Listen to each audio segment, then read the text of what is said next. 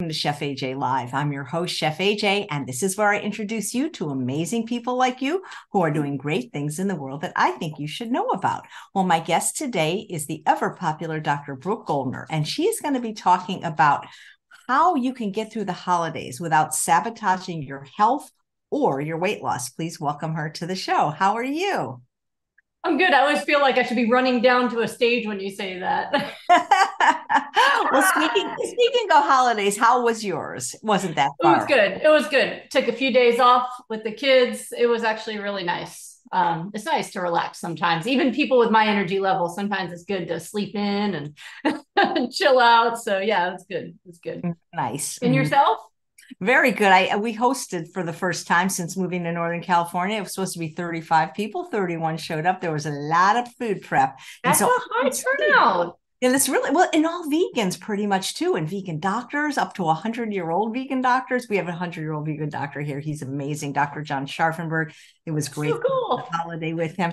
But you know, I can see why the the mere mortals have trouble with the holidays because I mean there was just so much food yeah yeah and uh, it's it's so important because un- unfortunately the holidays have really become more about food than anything else right? Like people have forgotten what the holiday actually is supposed to be. You know for every holiday they're thinking about what they want to eat rather than you know either the the spiritual value of the holiday if or religious if it's a religious holiday or you know whatever it is that that the meaning was supposed to be it's kind of just pushed down.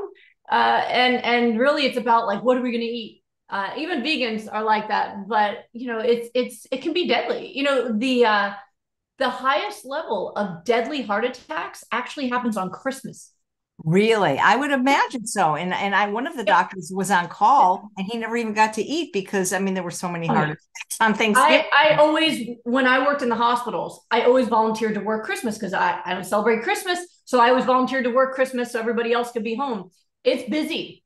Uh, it's busy. One, uh, depression is high uh, for people who don't have family to go to. So it's always important to check on your neighbors and people who might not have folks. Um, but yeah, chest pain, heart attacks. And it's like people are looking forward to eating the ham and the cake and the pie. And then it's the final, final straw, you know, and, and it's so important to not let ourselves kill ourselves or lose people we love over the holiday. There's so many ways to make it good. And I know you know that. Um, But I, I like to always arm people with options because the thing that happens over the holidays, most folks get sicker and they gain weight right over the holidays. One, they're wearing fluffier sweaters, so they're like, "Oh, you can't tell." I have another portion of cake, right?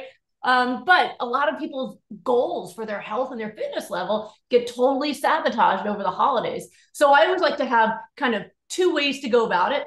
Uh, for the folks who know they're going to eat badly anyway, ways to at least minimize the damage versus how to actually keep yourself as healthy as possible over the holidays. You know, because sometimes people are like, you know what, uh, I might be listening to Chef AJ all day and I have good intentions, but I know I'm going to eat some of that stuff I'm not supposed to eat. Well, what do you do to mitigate that damage, to minimize it for yourself? So I have tips that we can share for both ends of it to make sure everybody at least gets the amount of help they need. I, I know for a lot of folks, they really want to stay well over the holidays and they want to be fit. So maybe should I start there? What do you think? What do you want to start with? Absolutely. Well, I think I think Dr. Goldner, this actually starts in in in October because I think I think it starts with with Halloween and it goes kind of downhill for a lot of people from that one holiday. I think you're right. It's like October through to January. It's getting worse, and then January first, there's a resolution and then they start trying to get it back right and and you're starting at such a worse place than you were for sure i think you i think it starts there uh, and goes down. Yep. Work so hard all year to be fit and maybe lose weight. And man, that one little Snickers bar on Halloween can just blow the whole deal for people. And, and some people probably wish they could just hibernate from Halloween to, to January 2nd and not have to deal. I think they kind of do. They wake yeah. up to eat and then they're just kind of sedentary. But it can be dangerous for people with food addiction. And I know that you talk to people a lot about that Absolutely. that Snickers bar and you wake up uh, those addictions and it could take you months to get back to where you were. Um, so you know, not everybody can can get away with having a little bit Some people it's going to be if I have a little, I'm I'm a goner. Um, so yeah, so what do you think? What do you want to start? Do you want to start with like how to avoid all the things that make you uh, potentially eat badly and gain weight, or do you want to start with if you know you're going to do it, what to at least to do to minimize? Let, us start with the avoiding because that would help people that can do it, and then if they can't, the second part. Also, I find okay. that people are uh, people, especially the the women I've worked with, they're such people pleasers, and they don't want to indulge, but they don't know how to say no because after all, their Aunt Harriet made it just for them. Oh my goodness. This is something that I actually I get people on this a lot during my rapid recovery group because when I work with people every day for 42 days, if they're going to fall down, usually it happens during that time. And this is one of those uh, examples that I think about. I, I call it kind of the nobility excuse. Like, oh, I ate poorly to make somebody else happy. Like you fell on a sword for somebody. And as long as you make it seem noble, it seems like a good excuse. There was someone in my group who uh, she ate a cookie because her elderly neighbor gave her one, and she wanted to be polite. And I I got her on that. I was like, hey, you you ate a cookie when you're trying to heal from an autoimmune disease. This is you know we, we have to make a plan for how to do this. And so her first response was actually say like, well, next time I guess I'll just offend the old lady. And I was like, no, no, no, you don't get to do that. I said, you know what? Old people pretty much raised me. My my mom's parents were my second set of parents. You know, they didn't have daycare back then; it was grandparents. You know, and uh, and so I I learned to beat all of her friends at cards. Like I spent summers with them. I know old people. You know what they like? Your time. They want you to listen to their stories, right? Maybe they want some hugs. Maybe they want you to play cards with them. You don't need to eat their cookies to make them happy. I said there were so many different things you could have done. Number one, you could have said no, thank you, but tell me more about your grandkids and just spent time with them. Number two, you could have said, you know what? I'm not hungry. Let me take it for later. Wrap it in a napkin, take it home, throw it in the trash when you get home. There's so many different things you can do in the moment. But as long as you think that you have to eat poorly to make other people happy, you're always going to do that because you want people to be happy. And it's important to realize that if somebody actually cares about you, they also want you to be well. And it's okay to say, you know what, I'm off of sugar right now. That sure looks good. Eat a second one for me. But uh, anyway, how's the grandkids? You know what I mean? Like you don't have to make it into a big deal, but it's okay to say no, thank you. One, you can say no, thank you with no excuses. And I tell people that all the time. If you you don't have to like people want to prepare speeches for the holidays. I've had people say, can you give me a list of reasons to give at Thanksgiving dinner or Christmas dinner for the people who ask me why I'm not eating what they're eating? And I was like, no, I'm not going to do that. Oh, first of all, if you want to do that, get my son's book, 50 Comebacks for Vegan Kids. Have it at the table. And if someone gives you something, you can open the page, protein, protein. What do they say? You know, you can do it if you want, but I don't even think that's necessary. I think everybody at the table has free will and is allowed to eat what they feel like eating. And just like you're probably not going to say, Are you sure you're going to have that cake? I mean, you look like you put on weight. It's okay for you to eat a salad without being attacked for it. So if someone says, Why aren't you eating meat? Say, I'm happy with the food on my plate there's no, you don't owe anybody an explanation. Now, if you want to offer it, that's up to you. If you're saying, hey, I'm on a health kick and I'm feeling really good, why are you eating that salad? Because I love it and I feel good. It doesn't have to be an attack, it doesn't have to be a fight, but you do have to prioritize yourself and your health if you want to be well. Um, because it's not always going to be convenient. It's not always going to be what everyone else is doing. Um, but it's for you. It's your health, your body. So I that people pleasing thing, I always tell people the most important thing to know about people pleasing is it doesn't work. You can't make someone else happy. If they're not happy, they got their own work to do. Right? You got to work on yourself. And if somebody really cares about you, they're going to be happy that you're taking care of yourself.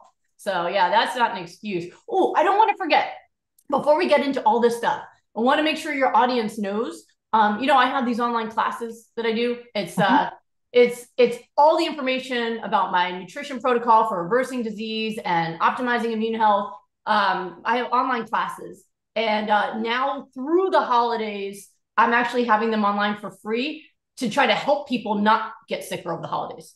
So it's my entire goodbye lupus protocol, case studies and different diseases. It's all it's all the content. There's no like holding back or whatever. It's all in there. I've had people all over the world who've gotten rid of their diseases literally just from those classes alone. So if they go to goodbyelupus.com, those classes are free to January 1st, just for anyone who wants to just sit and watch them and learn. So if this hour isn't enough and you're like, man, I wish there was four more hours. wow. Can, that's so nice of you. Thank yeah, you. Yeah, yeah, um, I love to do that uh, to try to support people's health. And so, like I said, it's helped many people actually get healthy without ever needing to see me. And that's my goal. My goal is not to be busier, it's to make sure people are well. Um, so I want to make sure we don't forget that. So goodbyelupus.com, free classes, go watch and learn, and you'll know every detail that's in Goodbye Lupus without having to buy the book. You can just listen to it. All right. So that's one thing. I go over the science of how like omega 3s impact the immune system. Like it's all in there. So anyway, so I don't want anyone to to forget that. So yes, if you're trying to be well, one, you got to know what you need to do to be well, right? So you can go to those free classes, for example, and you'll be armed and ready, right? Number two, um, if you're going to a, a meal at someone else's house, you got to bring your own food and yep. you've got to make a decision in advance that that's all you're eating. So that one only works for people who have the ability to say no. That really depends on how far along you are, right? Like for you, chefs, you've been eating this way for so long. I have zero worry that you're going to get tempted by some sugar or some meat and eat the wrong thing. You're probably going to show up with your food, enjoy your food, and feel bad for everyone else. That's what happens after a while. Is you don't feel bad for you, you feel bad. For, I feel bad for other people when I see them eat poorly, right? But that takes a while to evolve there. So if you know that if you're surrounded by your own food, you're going to be fine, then take it and get pretty. You know, like you don't have to sit there with just a smoothie. Um, there's you you can make beautiful foods for yourself and salads and things, and make it a really nice display for yourself so that you can enjoy it and stay full right? But you have to commit ahead of time that no matter what anyone else says or does, that's the only food you're bringing. And I always would bring enough for other people too, because everyone's always interested in in the healthy stuff once it's there, right? I've made raw pies before where everyone ate that first. I'm like, wait a minute, what? That was mine. What? so um so you, that's one thing definitely you know bring your own food and be ready to to say no and feel okay with it um, if you're not there yet because you're super addicted still and you're still early on in your journey for weight loss or for health, I recommend people go after the food. You know, I was teaching people that over Thanksgiving. Um, ask the host when dinner is and show up after dinner. So you're there for the karaoke and the games and the singing and whatever you're going to do. But that way you're not going to be sitting there tempted if it's like a buffet style, sit in another room away from the food, like get your food, bring it with you, and don't go into where the other stuff is. Um, I had a client that kept doing that. She would resist the whole time, but then eventually go walk and look at everything, and then boom, cookies in the mouth. Right. So you've got to make sure that you're you're really able to do that. If not, go after the food. Um, or I always tell people, you can always go on a different day too. If they're having a big like blowout meal or something, and you know you're going to be too tempted, say, hey, you know what? I'm not going to be able to come on that day, but would it be okay if I stop by the next day, the day after, just to spend that time with you? Maybe we can go for a hike together, or we can do so. You know, so it's quality time without the stress of the food. Um, because when you're really early on in recovery or weight loss and you can't say no, the best thing you can do is avoid the temptation. Uh, it, gets better over time where it's not so tempting. Um, but yeah, that that's usually my suggestion if they already know they're not going to be able to say no. Um, so, uh, or the other thing you do is host your own, like you did for your Thanksgiving. I've hosted plant based Thanksgiving for my whole neighborhood, and we were in Austin, it was so fun. None of my neighbors were plant based, but they asked me for recipe ideas, and they all showed up excited and interested to see what's going on, what are we eating, you know. It, it so if you host your own, you can make it raw vegan. You can make it plant-based. You can you can give ideas for recipes. And it's going to make it so much easier because now you're in control of what's going on there. So i always like to do that. I like to take the control and host it myself. And that way everyone who comes over my doorstep is plant-based. Like there's no animal products in my house. Uh, so even my employees like they, they they're going to have to go out. If they want to bring if you're coming in there's plant-based in here so it's it's a safe place you know? So all of those suggestions i find really work for people. And, and i'm working to help people have more recipes. I actually i haven't shown anyone yet. You want to see a yes. be seen yet? So i have the proof for my new book goodbye lupus hello delicious. It says proof across the front it's the first, you're the first one to see it. Well, now everyone is watching. That is so cute with the chef's hat and the doctor's coat. Oh my god, yeah. I didn't want. I wasn't gonna wear the hat, and Tom insisted, and it's cute. Yeah, I'm wearing the hat. Um, but yeah, so this is like stuff that's not smoothies that'll help people with recovery. You know, and there's like beautiful meals in here. But um, you know, so to help people with ideas that are not just like um this is one of my favorite things actually is these raw tacos and stuff. So for people who are looking for more exciting things, this is going to come out before Christmas. This is the proof. This is so we're going over the final proof before we publish.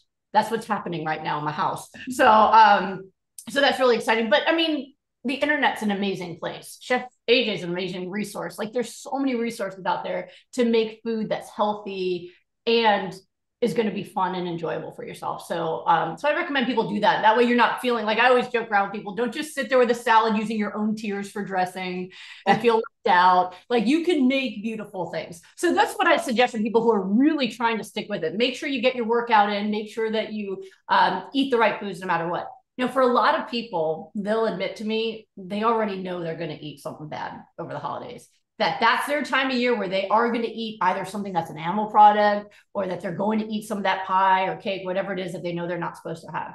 So in those cases and and really you got to check in with yourself because for people who are very sick this could be life ending i said there's high you know highest level deadly heart attacks are on uh, christmas um, I've had people with kidney failure where one bite of a mini Snickers put someone back six points on their kidney function. Like it can be life ending for people who are seriously ill. So be careful if you're choosing this option. Like, is I always ask people, ask yourself, is it worth it? Like, am I, what would I rather have, functioning kidneys or a piece of pie? Like, sometimes that's really the choice you're making. For other folks, it's like they're generally okay they're you know they're just trying to eat better to have a healthier life but they're not in in mortal peril if they eat something that's that's bad for them or they're trying to lose weight right? Where it's less less of a scary situation to eat off plan so i always tell people if that's the case and you're going to do it anyway we have a lot of tips to help all right? One is make sure you eat the good stuff 1st mm-hmm. So wake up in the morning and drink the green smoothie. Get the nourishment in because you're going to need it to fight back against what you're planning to do for yourself, right? Bring that big salad with you. So before you eat anything else on the table, you have to eat a full plate of salad first. That's first.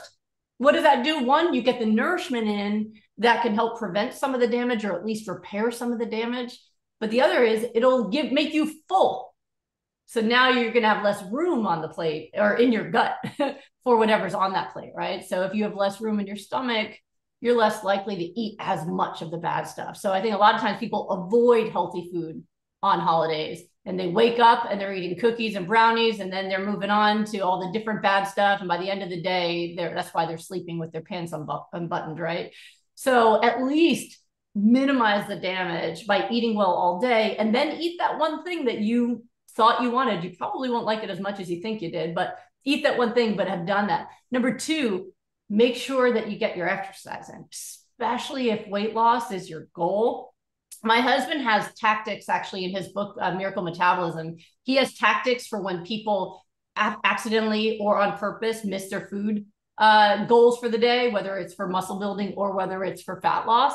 So if your goal is fat loss, and you ate like a loaf of bread and pie, then bodybuilding exercise is actually what you want to do. Sometimes people think that they're going to run it off with cardio, but actually a better bet. And these tactics are super cool in his book, but it's, you know, because everybody messes up sometimes.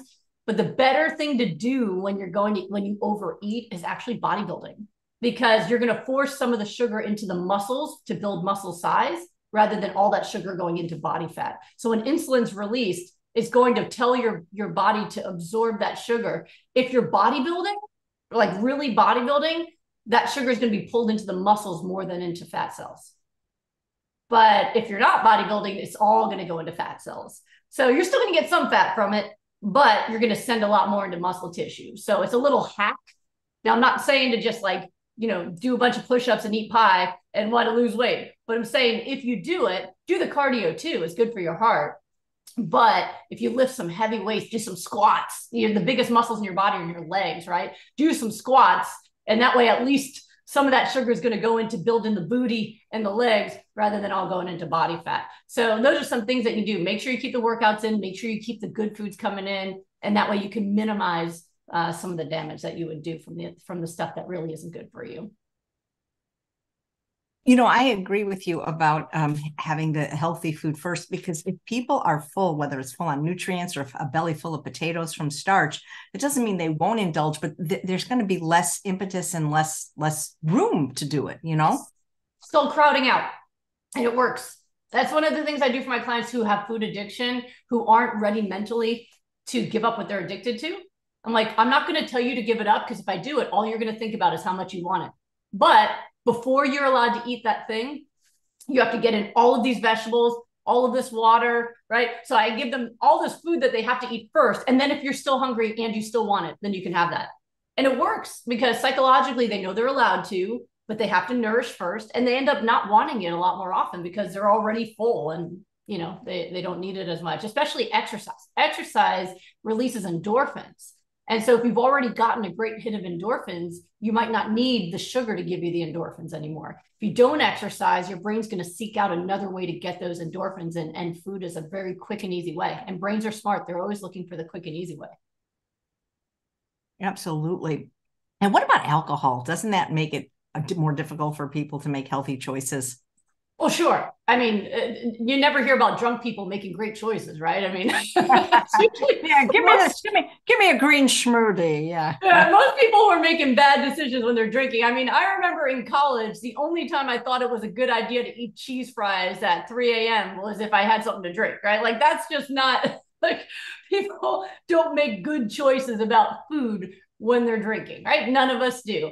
Um, so one, alcohol is inflammatory, so it's not a good idea uh, if you're sick, right? But if you're not sick, I, usually people can have some. Sometimes I, I have a, you know, what I teach is if you are healthy, you can get away with recreational eating or a glass of wine or something like that here and there, and you're going to stay healthy. If you're trying to get healthy, it can hold you back. So there's a difference between what healthy people can do and people who are sick can do. Um, but even if you're looking at weight, yeah, uh, if you once you loosen inhibitions, it's very hard to be in control of your choices. So it is a really good idea to uh, to not drink alcohol if you're trying to make better choices around food for sure. Absolutely. You know, I, I feel like that people that are people pleasers struggle more than people that don't for so many of the reasons you said and that they almost need to do some kind of like role playing or practice before they get to the event yeah and it's also important to unravel that so you know the idea of people pleasing it, a lot of times there's these cute names given to really serious conditions.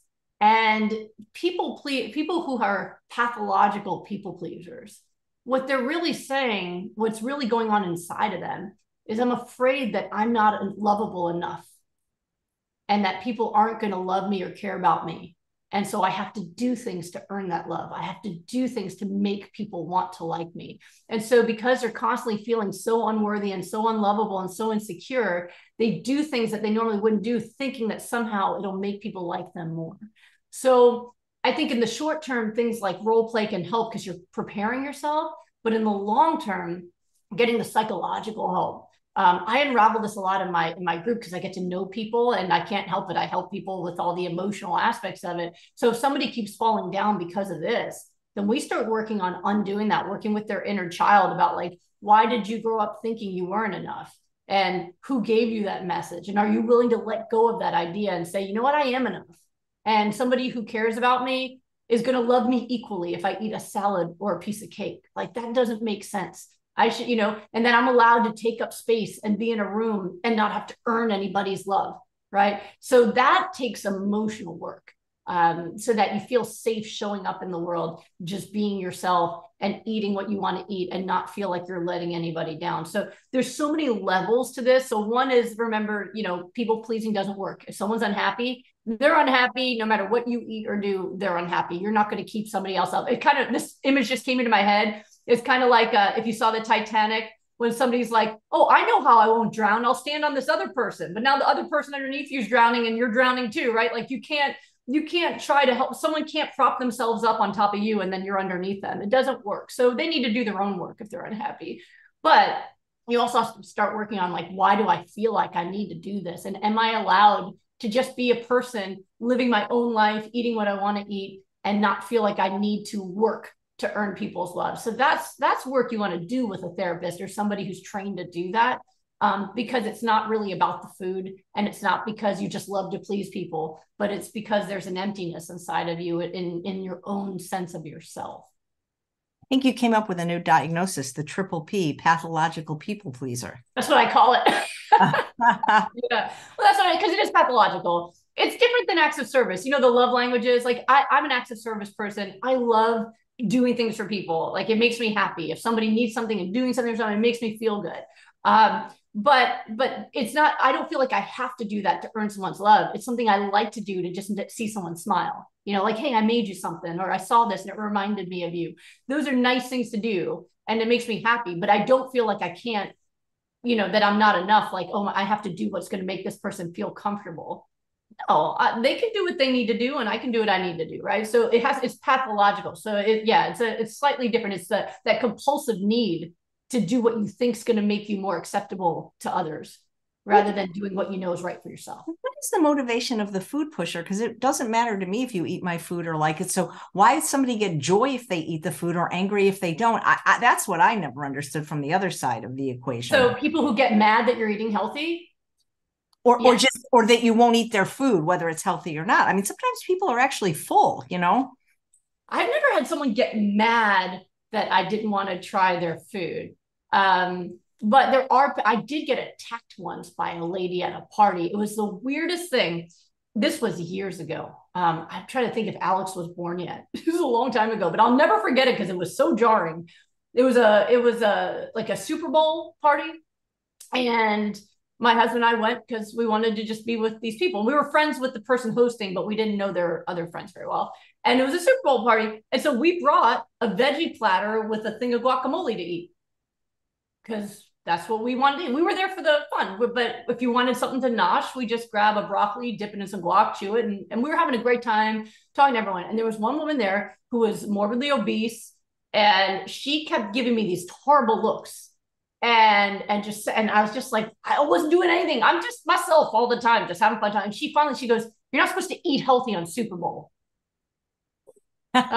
Where is that written? I I didn't. I don't know. I don't know. But she was, and so then she kept saying stuff like that, and we weren't even talking to her. Like we weren't preaching about food. We were talking about the game. We were talking about goofy stuff. We were laughing and just eating. We were just eating, but we weren't actually talking about it. We don't preach to people at a point. We let them do whatever they're doing. But she was taking it personally that we were eating vegetables and got angry, like so angry at the end of the party, she goes, I just want you to know that my kids ate an entire bag of chips by themselves today. And then she slammed the door. And I was like, Are we in a fight? Like, I didn't even know I was in a fight with this person. I don't even know this person. But it was interesting because what it showed me was in her mind, the entire party, she was assuming that we were judging and that we were looking at what people were eating. And none of that actually happened we were completely oblivious to what anyone else was eating. We were just talking to our friends and eating veggies, but she got very angry with us without ever having had a conversation with us. So, but what that means is she's terribly insecure about what she's doing. And I think she's aware that she's eating unhealthy. She's aware that her kids are eating unhealthy. And seeing other people eat healthy makes her feel insecure and judged but none of that actually happened. I didn't even, like I said, I didn't even notice her until she was yelling at me. And I was like, what happened? why, is this lady mad at me? I don't know what I did. Um, so I do think there are folks who they already know, listen, I got a cholesterol problem. I have a blood pressure problem. I've got a weight problem. I should not be eating this. And when you don't eat it, then they start projecting that feeling on you to say like, you know, because if you weren't eating healthy, then I wouldn't even be thinking about this right now. I'd just be blissfully eating my chicken wings and not thinking about it. But because you're sitting there eating vegetables, now I'm feeling insecure because I know I should be doing better. So, it's, but it's uncomfortable to feel like I need to do better. It's far more comfortable to be mad at you. And so it's it's called projection, right? So um, thankfully, uh, being a psychiatrist, I'm aware when somebody yells at me that I'm not associating with, that has nothing to do with me. That's why I said people pleasing doesn't work well, it's for the same reason. When somebody's unhappy, that's because of what they're doing in their life. And so sometimes being the one person that's eating healthy, you become the target of their anger. But it's not because of you. And you don't want to try to make them feel better. Like, okay, I'll eat cake so you cannot feel bad anymore. They need to feel that feeling. I hope after that party, she actually started think, eating healthier. I, I hope that that was a turning point where she said, you know what? I acted really weird and I shouldn't have done that and I shouldn't have blown up that way. Maybe it's time for me to start eating some vegetables, right? Like I hope that that happened because sometimes the best thing that can happen to somebody else is that they're uncomfortable. Because when you're uncomfortable that's when you contemplate change. If you're comfortable no change will happen right? So sometimes we do make people uncomfortable when we eat healthy not usually as dramatic as that but sometimes we do but that's good for them. Let them feel that discomfort. Don't take that away from them because now you're robbing them of the opportunity for them to grow for them to go wow you just ate really healthy at christmas I could do that. Like I had an alternative experience once where I was at a hotel. It was late at night. We just got to a hotel. I want something to eat. We go to the restaurant, and this was one of the worst hotel restaurants I've ever seen. Nothing had no meat. And so um, one of the appetizers, though, was Brussels sprouts with bacon.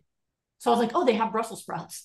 So the waitress comes over and I said, can I just have a giant plate of Brussels sprouts with salt and pepper? Like steamed Brussels sprouts. And she and Tom goes, "Oh, that sounds good. Two of those." Right? So she looks at us a little weird, comes back with like a mountain. Each plate had a mountain of Brussels sprouts, and it was delicious. I love Brussels sprouts. Salt, pepper, we ate them. And when we were signing our bill, the waitress came over and said, "I just want you to know that you changed my life today." I said, "What? What did we do? We ate Brussels sprouts." She goes, "Well, I've always wanted to be vegan."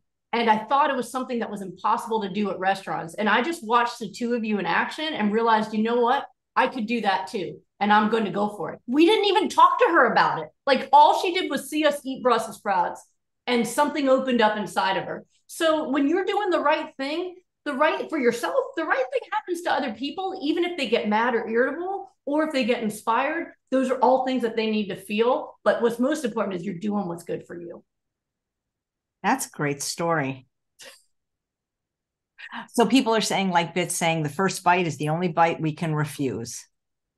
Yes, yes. I had that experience when I was getting my health back. It was when I was an intern working, you know, overnight shifts multiple days a week. And the sugar at night, when it's 3 a.m. and your pager goes off and you jump out of the bed, and then you have to walk past a gauntlet of sugar at the nurse's station because that's how they stay up all night is sugar. So it's like donuts and cookies and cakes. Oh my, right? Once it gets like 3 a.m. and you're kind of woozy, it's so easy to just grab a bite of something. And I learned pretty quickly if I broke off a piece of a donut on the way to see that patient, it could be an hour or two hours later. I will come back and finish that donut and eat a second one. But if I could get through the gauntlet without tasting it, I would forget about it as soon as I was past it. So I had to learn that lesson for myself is that, you know, if anything, like grab a carrot to eat as I walk by or put my water bottle in my mouth. But if I avoid the first taste, I'm golden. If I taste it, that's it, it's over. Yeah. So it, but I would still make sure I ate my veggies after that because at least I got the good stuff in. But that is a really good way to go. The first bite is the only one you could refuse. That's it's so important. It's so true. You're not golden, you're goldener. No, just kidding. uh, Diana says, I truly love this woman and her family. I owe her my health. And there's a comment from Diana that it makes other people feel uncomfortable because they make excuses for their unhealthy habits and they realize that it can be done. So it's sort of like, you know, hey, I can't do it. So let's sabotage everyone else. Well, it makes people feel more comfortable. It's kind of, I always joke about it that it's kind of like, you know, in the old movies where you'd see people smoking marijuana and then puff, puff, pass, right? That if everyone's doing it, then it, then everyone feels okay about it. But if one person says, no, I'm clean and sober, I don't do drugs, oh, you're ruining the buzz. Oh man, you know, like everyone gets uncomfortable, right? Well, when you give up eating animal products and sugars and stuff, you're clean and sober. And that's going to make some people uncomfortable and other people inspired, and all of that's perfect. Um, but it can be difficult at first. Once they know that's you, it's not a big deal. I mean, I, I make new friends on a regular basis. I just made some friends at a book club, and we're all different right? I'm the only one that's plant based in the group, but one of them is Muslim and she doesn't drink. And, and, and it turns out the one that one person I met, her daughter is autoimmune disease.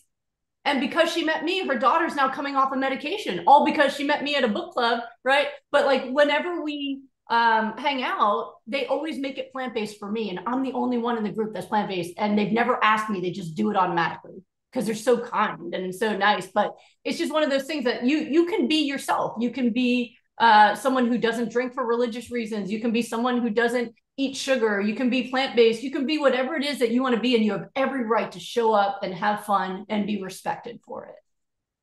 Yeah. I think some people, this is so stressful, they avoid the holidays altogether. Yeah, but that can make, that can, that can make it hard too. Like I remember when we lived in California, Thanksgiving was fun because Animal Acres, they've changed. They're now Farm Sanctuary, but it used to be Animal Acres. Do you know that place? Yes, I used to love it. Yeah. Mm-hmm. Well, the only places I've ever taken my kids to see animals has been to sanctuaries. Uh, we've never gone to like circuses or zoos or anything like that, but we would go to the sanctuary. It used to be Animal Acres, it's now Farm Sanctuary. But on Thanksgiving, they would have an event where you could feed the turkeys. So we made our own little Thanksgiving tradition where, and the kids love that kind of stuff, where you go and you give like cranberries and stuff to the turkeys and hang out with the animals. And so that was a fun thing to do. So, you know, if your whole family uh, is is already plant based anyway, then you can just do your own thing, your own tradition. Um, before my husband became plant based, we would still go to Thanksgiving because he wanted to eat that stuff, and I would just bring my own like stuff that I would eat. Um, but I was super happy when when he didn't want to go either. So then it made it a lot easier. we went on a cruise one Thanksgiving with uh with extended family, and we did everything with them except the meals. And nobody they all understood why, you know. So we would meet them for the shows, we'd meet them at the pool, but we did salad bar for our for our meals, and you know, and that was fine. We didn't want to sit there and watch everybody eat that junk, and you know, it was happier for us to spend less time doing that and more time having other fun. So you know, I think if you're the other thing is to just let people know.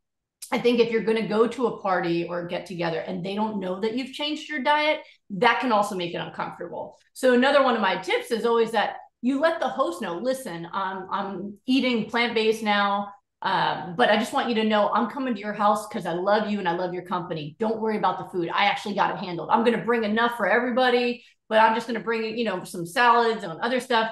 Um, but just so you know, like, don't even offer me what you got going on there because I already know your food's delicious and I might get tempted. So do me a favor, don't even offer it to me. Just let me enjoy your company. So you ask them in advance not to offer it to you. Um, a lot of times when people uh, hear you're on a diet, they think it's kind or supportive to say, "Oh, it's okay. What's one day?" and actually sabotage your diet. So I one bite, one bite won't hurt. One yeah, bite won't hurt. Right which sometimes people think that's being kind. And so when in fact it's sabotage. So I always tell people, let them know how to support you. And the way you support me is by encouraging me and don't offer me anything. Because it's still, I'm still getting over that addiction. And if I have a bite, I'm going to blow my diet. So, you know, just let me, I'm going to bring my own stuff. But that way the chef's not kind of, or the host isn't caught off guard and, and they don't know what's going on. And then everyone's uncomfortable. You let them and say, I'm doing this health kick right now and I'm eating weird. You can make it a joke. I'm eating weird. I'm eating plant based, whatever. So I'm going to bring my own food and I'm just going to come to enjoy the company. And so just don't even offer me that delicious pie you make because I already know if I taste it, I'm going to blow my diet. So, like, letting people know also takes the stress off of it because then you don't show up feeling like, oh, I hope they don't notice I'm not eating the turkey. And what are they going to say? You've already explained it. And anyone else is there, it's none of their business. Why are you eating salad? I love salad. Like there's a, you don't have to go unless you want to go down that path. But I find most people who are questioning you while you're eating aren't really interested in learning. They're just trying to pick it apart. So I always say, you know, say something like, "Oh, I love salad. I've been eating plant based." But anyway, tell me more about your grandkids. Like you change subject. But or you say, like, you're interested in learning more. I have some great resources and links for you. Remind me after dinner, and I'll I'll give you all the websites and see if they come and ask. Sometimes they will, most of the time they won't. But yeah, just don't go in defensive. So, you know, when people say one bite won't hurt, I always say, yeah, but it certainly won't help either. So, you know. yeah, well, it just it, it won't help. Um, but it definitely hurts because you know, like we just talked about. I mean, once you activate the the dopamine pathway from that sugar, I mean, now you're it's kind of like having that first drink, right? Now you're you're disinhibited and you've got cravings. Um, versus if you go, yeah, that looks great, but I'm full or whatever, and you don't actually let yourself have it. Yeah, that one bite, it can hurt, especially like I said, in things like kidney failure, lung failure, where every bite can damage you beyond recovery at that point. But for most folks, the biggest problem that happens from that bite is they then get rid of all of the progress they made in overcoming that food addiction and they're starting over again. Yeah, absolutely. Uh, somebody suggesting tell people you're allergic to that food. What do you think about that? If it's not true, do you think? Well, a- it depends. If it's, I mean, I'm kind of a, I, I, I am, I'm very honest all the time. so it's kind of like for me, it would never come to my mind to say something like that. I think the only time I've ever done that is like on the school forms when they say food allergies. I always put meat, dairy, honey, whatever there just so the teachers take it seriously. But if someone asked me directly, I would just say, oh, no, thank you. And if they say why, I can say, oh, I'm plant based or whatever, but or vegan. People know the word vegan better. Um, but I, I usually don't. But if you're never going to see them again and you want to say that, that's okay. Um, but again, it's it that's more of a I hope they don't get mad at me. But if that works for you, okay. I mean, we had someone who was in my rapid recovery group who was doing so well and he was worried about going to a wedding because all of his family members drink heavily and he didn't want to explain to each person at this wedding that he's not drinking right now. So instead, we just had him drink his water out of a Moscow Mule cup all night with a lime on it. Nobody asked him what was in his cup. So he just kept that cup full of water and he danced and had fun and nobody even asked him what he was drinking and that worked too. So, you know, sometimes it was if it's alcohol, you can fake it like that. Um, with food, I mean, I guess it's up to you if that works for you, but I think in general, that's kind of still a, a, a symptom of people pleasing. You're afraid to offend them by saying it's not healthy or that you don't want to eat it. So you're just going to say like, no, I'll my I'll, my airway will swell up and I'll die if I eat it. Um, so yeah, if it's if it's a baby step towards it, that's fine. But again, I don't think you owe anyone an explanation. Um, you're allowed to just say, I'm on a health kick, or just no, thank you. But I, you know, I, there we have I I, I, there are some food pushers in my life and it's like it doesn't matter what it say i have a medical condition there. It's just weird how that is so important for people to get to get you to eat their food. It's just it's it's bizarre well, to me. Depends on the person like my grandmother she used to say to me sometimes listen brooksy you want to eat that little chicken soup? I won't tell anybody. You know and i'm like grandma like she you know like but that didn't come from her wanting to hurt me. Like in her mind, I mean, she was a Jewish grandmother, chicken soup. Like this is penicillin. Yeah. yeah. So so she was she thought it was loving. Her her love language was, you know, cooking meals for people. So I used to make food for her whenever I went there. Um, but but um it was just cute. I would just laugh. I'm like, Grandma, I, am not, I don't want it, but thank you. I actually don't want it. I'll just pick the chicken out. No, Grandma. Thank you anyway. Let's just stick with the salad. It's good. But, you know, for her also, in her generation, I mean, she starved through World War II. So her biggest fear was being thin.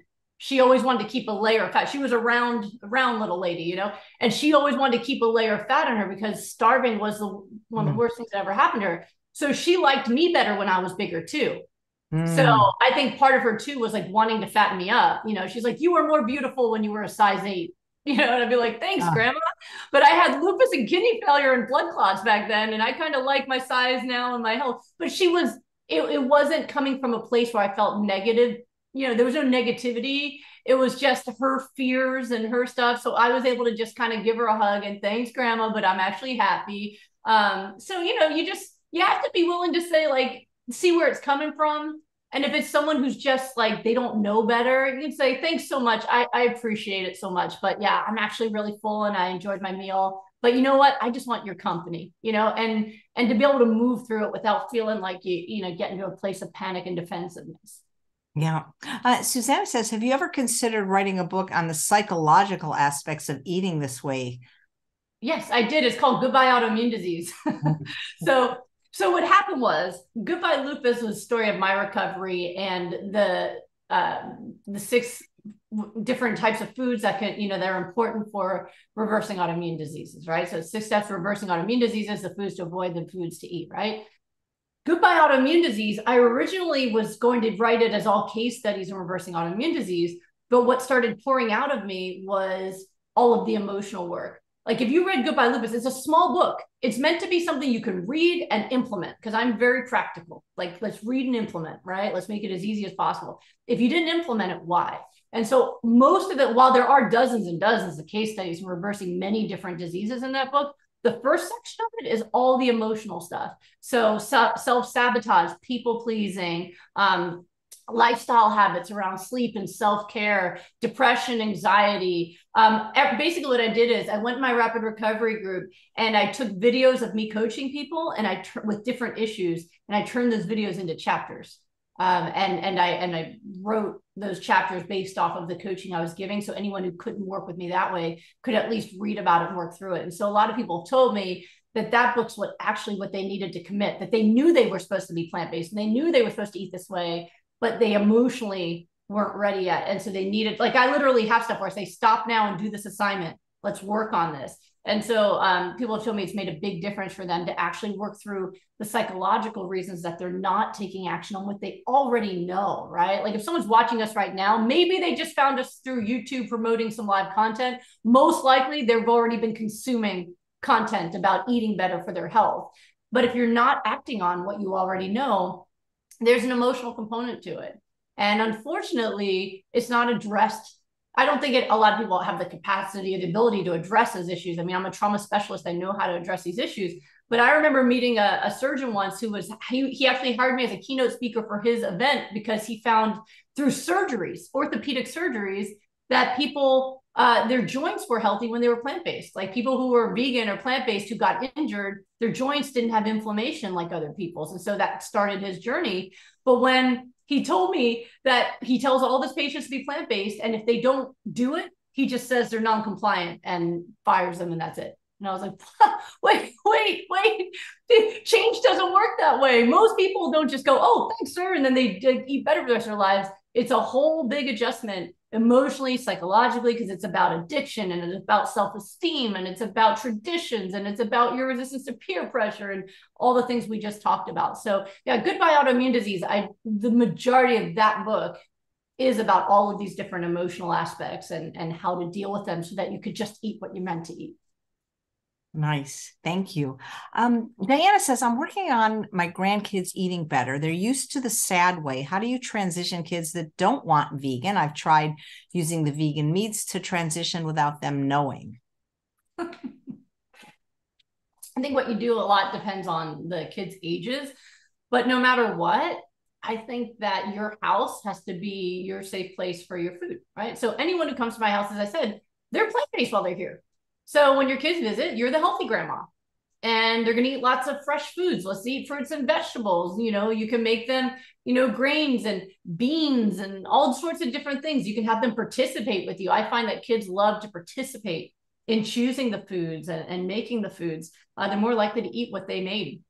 If you want to get fruit, I used to do when my kids were little, I used to make rainbow plates. And so we'd make a big plate and we and we try to find every color of the rainbow and make it out of a different food. So it might be like tomatoes and tangerines, right? And so all the different colors of the rainbow all the way down. And then I'd usually make like a little tofu flower and a flaxseed cracker stem or something like that. Um, and we'd make like different pictures. I posted pictures online a long time ago when, when my kids were little, where we would make pictures out of fruits and vegetables on their plates and then they would eat their pictures. So when they're little, I find it fun to play with the food that way but also to have them help pick it out. But, you know, if a kid is hungry, they'll eat.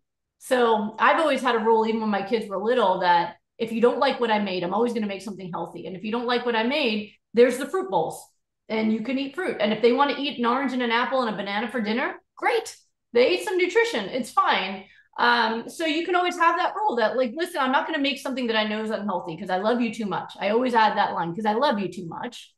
Um, but if you don't like the beans and quinoa, you know, that I made, what would you like? We have apples and oranges and blueberries and all these other things. And so that they have choices, but choices within the realm of what's acceptable for you. And you're allowed to do that. And, and it might be something that, that really changes their lives. When I worked at a nonprofit with the homeless for years. I was a medical director at a nonprofit. We're working, we're working with the homeless and kids aging, well, adults aging out of foster care and juvenile justice.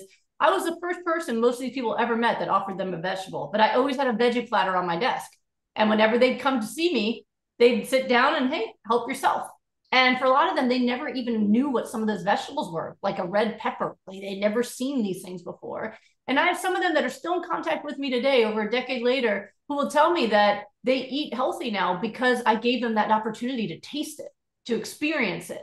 And some of them started asking about smoothies, and we started, the nurse started bringing in blenders so people could have a smoothie if they want, instead of like the pizza that we would have. Um, instead of just being able to, they used to be able to earn uh, little tickets um, for coming to classes to learn about self care, you know, and, and all the things they needed to, to come out of homelessness and everything. And uh, they could use those tickets originally at the local pizza place or liquor store, not for liquor, but like to buy like chips and monster energy drinks and stuff like that. And there was so much interest because of my veggie platter. And I wasn't pushing it. I just had it on my plate, my table because I was eating it too. That they ended up asking for this, and we were able to get a, a partnership with the um, um, oh, what do you call it? Uh, farmers market. And the farmers market started accepting our tickets. And the kids started, I call them kids, 18 to 25. They started preferentially saving up their, their tickets to go to the farmers market instead of going to the pizza shop.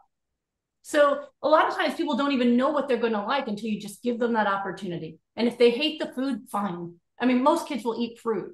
But again, giving them instead of just giving them what they're used to, if you give them that opportunity that when in my grandma's house I eat well, that can start planting some seeds in their mind that when they have more choice over their food as they get older, they might want to be more like grandma. Mm, yep. So Ellen wants to know Are you a specialist in emotional trauma or emergency critical care trauma?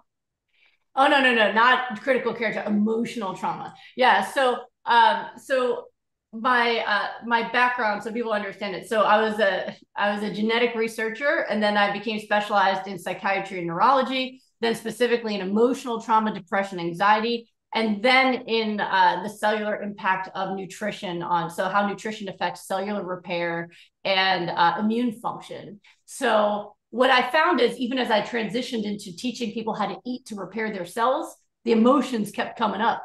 So i find that in my daily life i still do both because I find changing your nutrition, you have to, you have to deal with the depression, the anxiety, the addictions, and the traumas, or they're never going to be able to fully embrace the nutrition, or the stress and inflammation caused by those problems will keep combating the nutrition and they won't get healthy as, as quickly.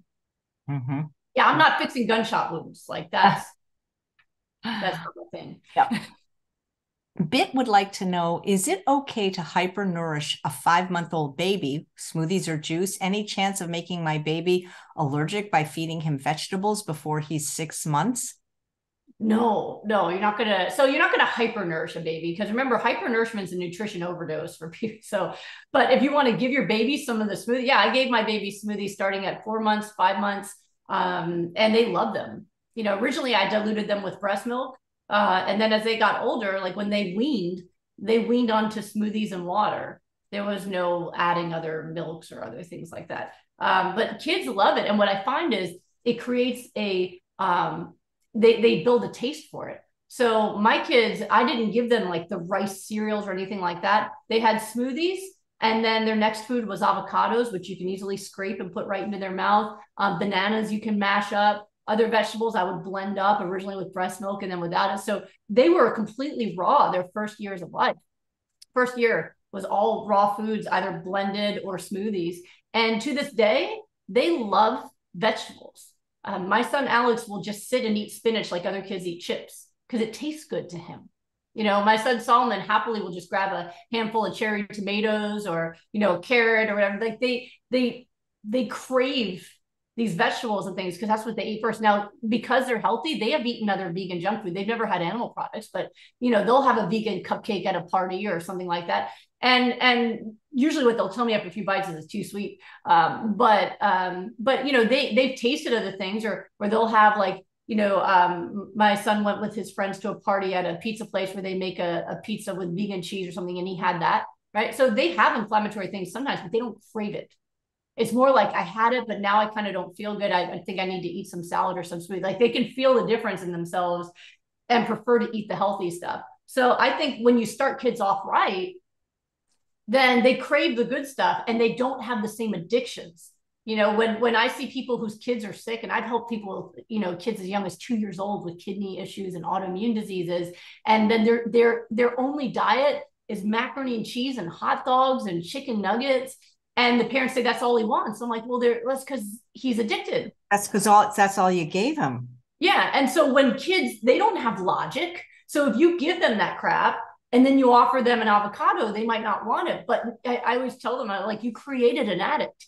And now you're going to have to deal with the withdrawal and the tantrums, but they'll get past it and they'll eat again. But if you do the opposite, where you raise them on these healthy plant foods, then they don't seem to ha- they have a resistance where they actually crave healthy stuff and and they can have other stuff without going crazy for it and, and having the same addictions that those of us who had to overcome bad eating have and that's most people unfortunately yes. yeah i mean including myself i mean i had to overcome i mean i grew up eating macaroni and cheese and and chef boyardee and you know my parents owned a pizza shop So I ate pizza every day in my teens, and I thought I was lucky. Like, what teenager doesn't want to get to have pizza every day?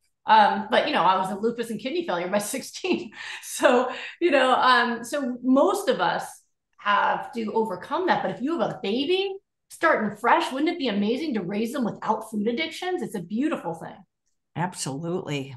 Yep. Like Dr. Goldhamer's kid. oh, grew up at the center. B says, How do you stay motivated and not order out so much during the holidays? I don't think I've ever ordered out over the holidays. Yeah well i mean so your motivation comes from the reason that you're doing what you're doing right? So this is a big part actually in my book goodbye autoimmune disease was like you have to have motivation right? So normally motivation comes from you'll have a spurt of motivation at first. That will last about two weeks and then it wears off. That's why january 1st the gym is full and then january 15th it's empty again right? That that spurt is gone.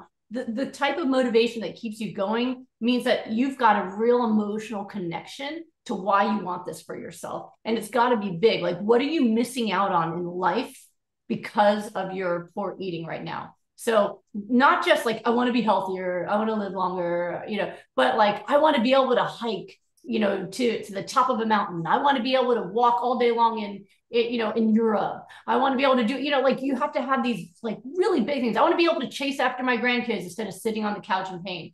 You have to be very, very clear on what it is you want from your life. And then anytime you think about ordering out or having something else, ask yourself, what do I want more? Do I want to be able to walk through Venice all day long without being in pain? Or do I want to eat pizza? Do I want to get off dialysis or do I want to eat chocolate? Right? People forget. They just think about like, oh, I shouldn't eat that. And that will work until it doesn't. That's a dieter's mentality. Oh, I shouldn't eat that. Maybe a little bit, you know, maybe just not now, maybe tomorrow, maybe I'll go back to this versus actually holding up what you want for your life next to whatever that thing is that's going to last 30 seconds in your mouth and be gone and say, is it worth it? And, and that's how you have to battle it. You have to get real with yourself about what am I really risking? Is it worth throwing away this dream I have for my life so I can have this? And if the answer is no, then you don't taste it. you don't do it, right? Stay full also. If you stay full, you can think clearly. Hunger creates a psychosis in your mind where you can't think clearly anymore. So you can also put it off and say, you know what? If I still want it after my workout, I'll have it then. If I still want it after I eat my salad or have my smoothie, I'll have it then. So kind of delay it and see if you can fix uh, the craving by just getting yourself full and getting that dopamine uh, rush from some exercise. That usually can can make that difference and get you out of that moment. Yeah. Ellen wants to know: Did your parents change their diet? Uh, yes, yeah. Actually, my mom had rheumatoid arthritis, and it was hard for her to change her diet. And it was actually this whole thing um, that we went through because uh, she was struggling because uh, pizza and chocolate, those were those things. And so for a while, you know, we were vegetarian when I was growing up, and so for a while, um, she really didn't want to embrace eating this way. And well, she intellectually might, but kept eating junk. And it, it actually got between us a little bit because she would complain to me about how much she hurt. And then I'd want to lecture her on her food. And then we both leave feeling unhappy. And so I finally said, you know what? As long as you're unwilling to change your diet, um, I can't really listen about the pain. It's not fair, you know, because it hurts me to know you hurt and to know you're not willing to do what it, what you need to. So she tried everything else first. She tried surgery. She tried steroid injections. And then finally, she was limping around. She actually tells this story better than me, but she she said uh, one day she was visiting us and she could hear me, you know, coaching someone through my office door. I guess I'm loud. And she said she was limping up and down my staircase in so much pain in her knees. And she had this realization. She goes, "What the heck am I doing?" And she didn't tell me, but she made a decision that day that she was going to go on my protocol. And she went home and she went on the protocol. And she called me after a few weeks and said, "Just so you know." I've been fully on the plan, doing my smoothies, eating my raw veggies. My joint pain is completely gone. I've lost 20 pounds and I feel amazing. I was like, oh, thank you. So since then, she is fully on the plan. So she does smoothies every day and then she makes like vegetable soup or, you know, some tofu or quinoa and beans. And she's maintained her health pain free and slim. My mom has abs. We go to boot camp together in the morning. Um, so she's great now. She's she's in great shape. But even with what I do for a living, and what I teach every day, she still struggled to do it because it's different when your kids telling you what to do. I would say it's hard to raise parents, you know? So, you know, she had to come to it on her own. but yes, she did, and uh, and she's pain free now, so that that makes me super happy. Um, you know, sometimes you you have to take a step back to let people come to things on their own. Um, yeah, yeah Ellen's, Ellen's saying, is she willing to come on Chef AJ Live and tell her story? My mom is so shy. Um, she does not like to be in front of the camera. Um, in fact, I have had her on my YouTube before, but the only way I got her to do the video is if she didn't have to look at the camera. So she's only looking at me so that she, because she's like, she gets so, so sweaty and uncomfortable and just does not want to be in front of the camera. So my, my instinct is she'll say, no way. Oh my, there's too many people. Um, whether I could drag her next to me, maybe. Uh, but she, I did convince her to. She is in a video. It's on my YouTube. Um, but it took a whole lot of convincing. Um, and like I said, you'll see she never once looks at the camera. She's just looking at. I want to. see, what is the video called? I want to. I want to see her. Oh, let me see. All right, I'll pull it up for you. And then I think we have to wrap up. It's been over an hour. Yeah, yeah. I, I got to let you go. So tell people where they can find you because you, you know, we didn't talk about the medical questions today because you do a, a, a Q and A every single week. Yes, every Wednesday. Okay, so if you look, by the way, the channel, the video on my YouTube is called My Mom Talks. Nice. So if you just look up mom on my YouTube, you'll see the first video uh, is my mom. Here, I'll show it to you really quickly. So I'll show you all the things. So, okay. All right. So see this one right here? There she is looking at me. Wait, your mom is blonde? She is now. okay. the gray, the gray was a battle, and now she's blonde. She used to be my hair color, but yeah, oh, now she's blonde. And she's, she's gorgeous. I'm it's gorgeous, honey. She's gorgeous. So, um, and she's got the New York accent. You'll love her. So that's that. Um, so if you uh, if you want to ask me questions about anything every single Wednesday, except for like a holiday or something, uh, I am live. It's it's live streamed on my YouTube, my Instagram, and my Facebook all at the same time. So if you look up at Goodbye Lupus and any of those places, Wednesdays at 12:30 Pacific. All right. So if you come on then, uh, that's 2.30 Central, that's 3.30 Eastern. In other countries, you're gonna have to Google it, but 12.30 Pacific, I do it every every Wednesday just to answer people's questions and keep them on the right path and keep them inspired and all that kind of stuff. Remember my classes right now, goodbyelupus.com, free classes on all the things you should eat to reverse the diseases and why, so you can keep yourself inspired and on track over the holidays. Uh, I want you to get well. Imagine you heal your disease over the holidays and you start 2024 healthy rather than starting 2024 at your unhealthiest and overweight like a lot of people do after the holidays. It's it's cool. So that's why I'm doing that. So goodbyelupus.com for that. And yeah, I'm always around. I'm always posting on social media and trying to get people to do what it takes. You know, I've been I know what it's like to be sick. So everything I can do to inspire people to to take the steps they need to to get healthy makes me happy. Absolutely. And hopefully you'll be on before your book comes out so we can promote. It's coming out soon. I'm telling you, it's coming out before Christmas. This is our final thing was we had to print the proof. You know what it's like. You have to see yeah. it.